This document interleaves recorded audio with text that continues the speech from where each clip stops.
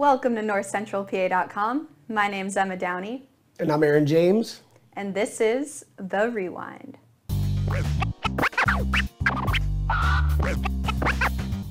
And now it's time for the good, the bad, and the ugly.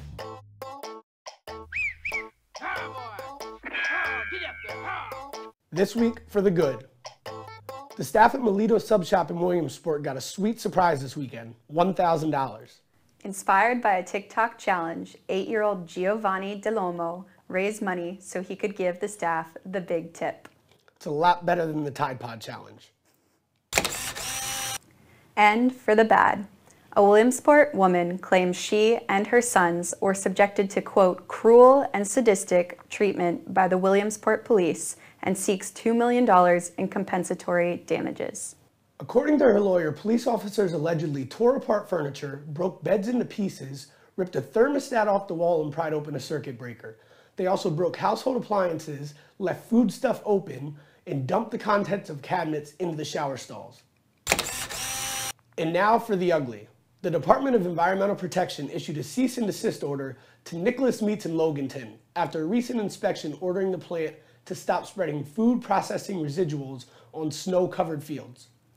Nicholas Meats issued a statement saying the cease and desist order will force the plant to temporary shutdown until the weather changes.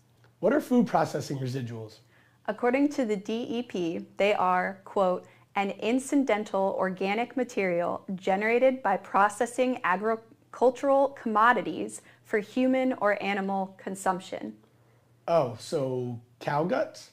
Yeah, cow guts.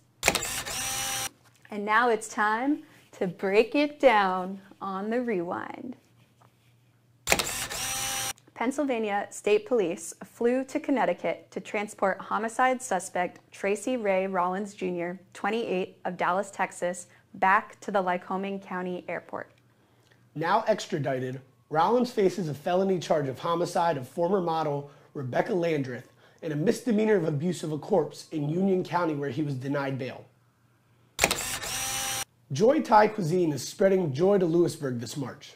The Williamsport-based Thai food restaurant is opening a new location on North 10th Street near the Giant in Lewisburg. It's been 16 years since Centre County District Attorney Ray Gricar told his live-in girlfriend he was taking off work and went for a drive. That was the last time anyone heard from him. No one knows to this day what happened to the 59-year-old DA, who was getting ready to retire just eight months from the time of his disappearance. Luckily, former Montour County District Attorney Bob Buehner, a friend of Gricar, is making sure his friend's case does not go cold. Check out the full story on our website. The Dollar Tree located along the Golden Strip in Williamsport is temporarily closed. How come? The temporary closure will allow the store to make its big move. To where? Across the street. Millennials will now be able to buy houses thanks to a new affordable addition to Dunkin' Donuts menu. Avocado toast for just $2.99. The company announced the addition of grilled cheese melts along with additional spring drink items. Yum, guess I'm going to Dunkin'. And that's a wrap for this week's Rewind.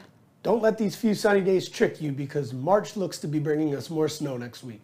Don't put your sweaters away just yet. Thanks for watching. You're doing everything you can to keep you and your family safe as the COVID 19 outbreak continues to affect our daily lives. Wearing a mask, washing your hands, and physical distancing. But there's one more thing you can do that's staying engaged in your health care. At UPMC, we are ready to treat you safely, either in person or through video visits. Remember, we're here for you now more than ever.